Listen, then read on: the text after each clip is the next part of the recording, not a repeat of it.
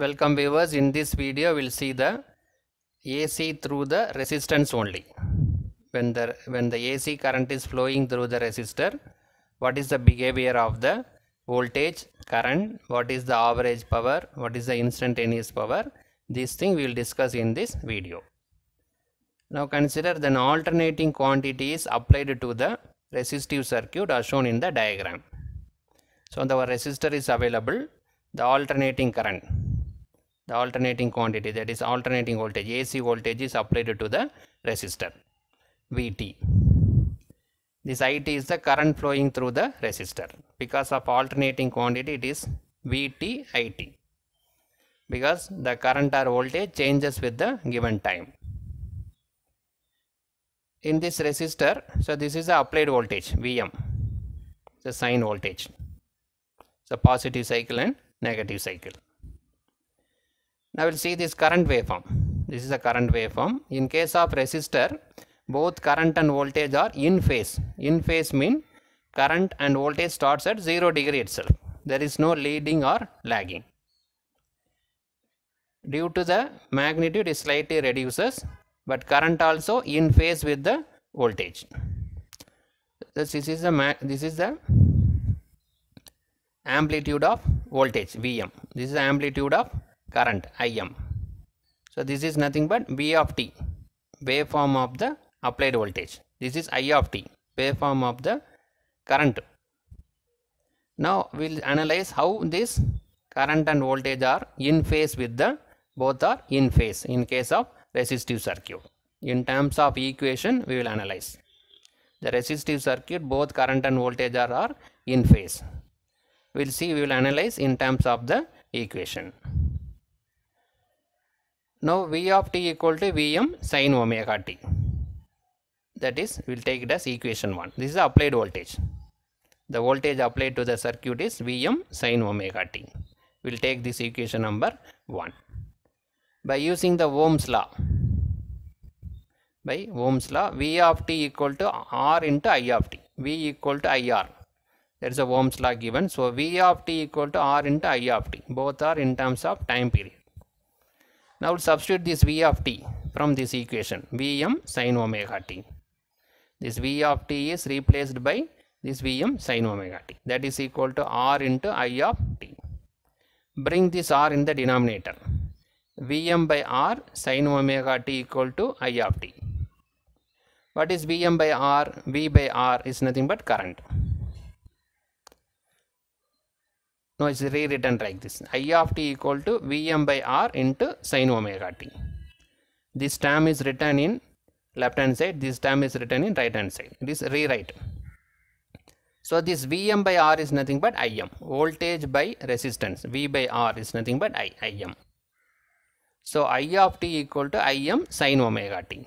So that is given. Vm by R is nothing but the maximum value of current Im. This R is the resistance of the circuit. I of t is instantaneous current passing through the circuit. Instantaneous current means at given instant. Now we can refer this equation 1 and 2. Equation 1 V of t equal to Vm sin omega t. I of t equal to Im sin omega t. So the angle is omega t. Both angles are same. So that means that this current and voltage are in phase with each other. So that is given. Comparing equation 1 and 2, we find that the alternating voltage and current are in phase with each other. That only we refer already referred in the waveform. So by analyzing these two equation, we come to know that both are in phase. Now we'll find the instantaneous power. Now we'll go for the instantaneous power of the R circuit. So the instantaneous power, instantaneous power means at given instant. Average power means by considering the entire cycle. P equal to V of t into I of t. Power equal to voltage into time. The voltage into current. The formula is available.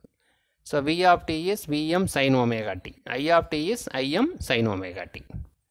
So it is Vm into Im sin square omega t. So the sine square omega t can be written as 1 minus cos omega cos 2 omega 2 divided by 2. So we got Vm Im into 1 minus cos 2 omega 2 divided by 2. We'll go for further simplification.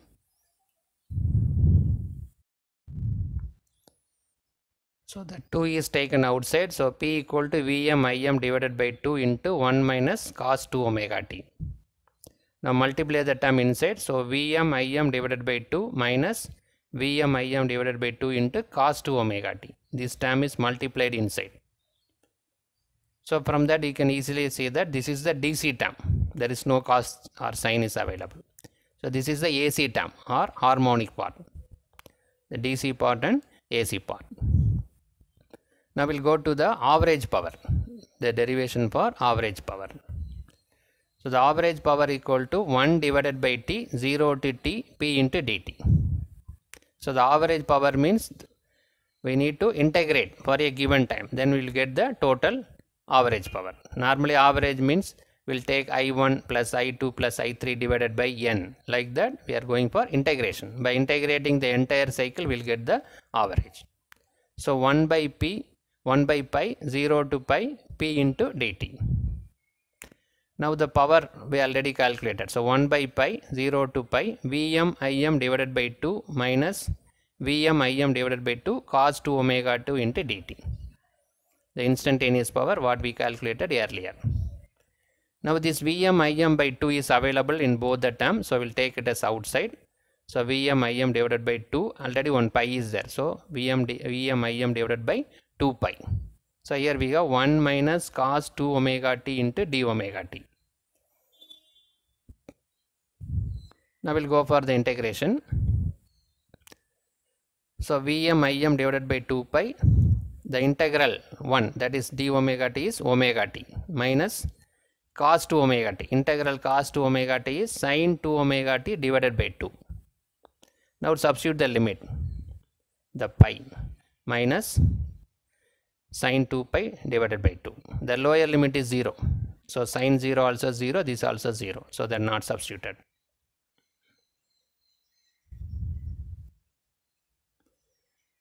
So the sin 2 pi also 0. So only we have pi. Vm Im divided by 2 pi into pi. This pi pi got cancelled. So we have Vm Im divided by 2. So in this lower only upper limit substituted lower limit is 0. So this value becomes 0 sin 0 also 0 so that not written only the upper limit is substituted again in the upper limit this value also 0 sin 2 pi is 0. Now Vm Im divided by 2 pi can be written as Vm by root 2 into Im by root 2. This 2 is written is root 2 into root 2. Root 2 into root 2 is nothing but 2. So what is Vm by root 2? That is RMS value. Im by root 2 is also RMS value, current and voltage. Vm by root is Vrms. Im by root is Irms. Now we got the expression for average power.